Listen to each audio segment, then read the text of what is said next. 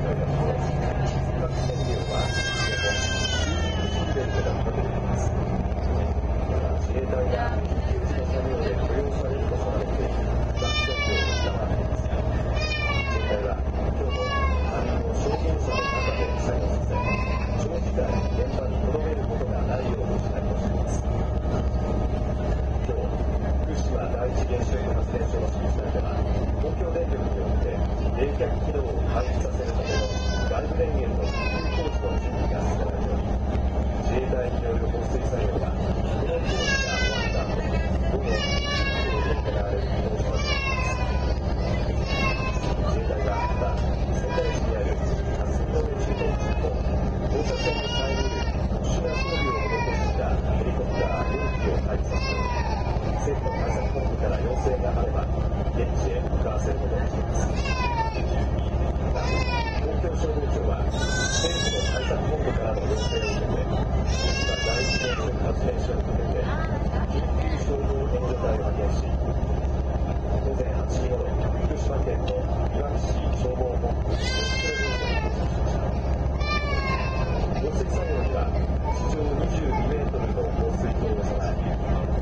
災などの消火活動を行う施設導水公社や